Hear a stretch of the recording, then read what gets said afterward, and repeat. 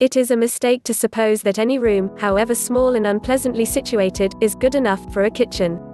This is the room where housekeepers pass a great portion of their time, and it should be one of the brightest and most convenient rooms in the house, for upon the results of no other department depend so greatly on the health and comfort of the family as upon those involved in this household workshop. Every kitchen should have windows on two sides of the room, and the sun should have free entrance through them. The windows should open from the top to allow a complete change of air, for light and fresh air are among the chief essentials to success in all departments of the household. Good drainage should also be provided, and the ventilation of the kitchen ought to be even more carefully attended to than that of a sleeping room. The ventilation of the kitchen should be so ample as to thoroughly remove all gases and odors, which, together with steam from boiling and other cooking processes, generally invade and render to some degree unhealthful every other portion of the house. There should be ample space for tables, chairs, range, sink, and cupboards, yet the room should not be so large as to necessitate too many steps.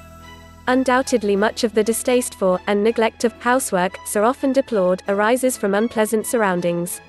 If the kitchen be light, airy, and tidy, and the utensils bright and clean, the work of compounding those articles of food which grace the table and satisfy the appetite will be a pleasant task. It is desirable, from a sanitary standpoint, that the kitchen floor is made impervious to moisture, hence, concrete or tile floors are better than wooden floors. Cleanliness is the great desideratum, and this can be best attained by having all woodwork in and about the kitchen coated with polish. Substances which cause stain and grease spots do not penetrate the wood when polished, and can be easily removed with a damp cloth. The elements of beauty should not be lacking in the kitchen.